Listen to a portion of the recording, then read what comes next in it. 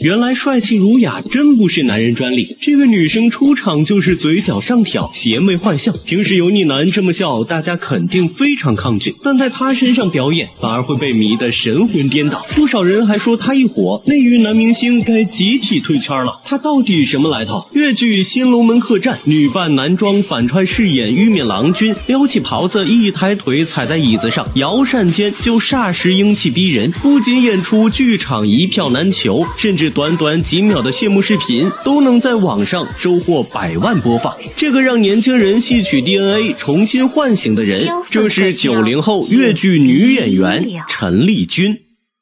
讲起越剧这类戏剧艺术，大家都会下意识认为和传统戏剧一样，一板一眼，严谨又规范。但反观陈丽君女小生的扮相举止，表情干净利落的像白开水干净，举手投足又都是洋洋洒洒的痞帅，和传统戏剧形象有如此大反差的原因，就藏在她的人生经历里。出生在浙江的陈丽君，从小就接受越剧文化熏陶，年仅十二岁就去艺校学习，小小年纪常。常常因为练习难度高的基本功而摔到五脏六腑都痛。同龄孩子会怕痛离开，而他却咬牙坚持了足足三年，完全不允许自己懈怠。努力刻苦还不够，接下来他要面对一个巨大考验。原本练习花旦的陈丽君，因为身材高挑不适合练花旦，因此骤然被班主任告知要转行学小生。通常来讲，戏剧里面生旦净末丑的小生行当多由男性扮演，而要从花旦到小生，就意味着陈丽君要在表演、形体、唱。腔上改变，从头到脚，从内到外，全部要重新学习。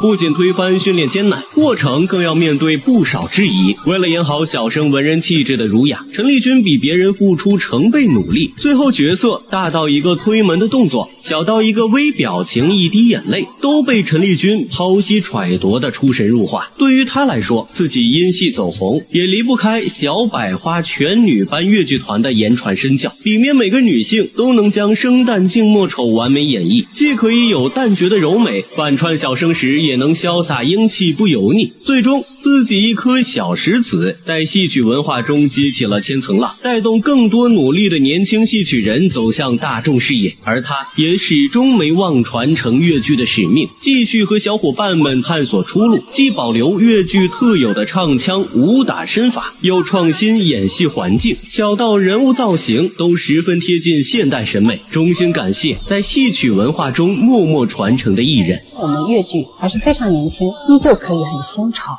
这个潮要怎么样掀的波澜壮阔，那就是对于我们这一代年轻人来说，就要看我们是怎么去努力了。我相信我们都会有勇气和能量去把这波潮掀好。也祝愿越剧能在未来呈现燎原之势，在代代传承中成为新的经典。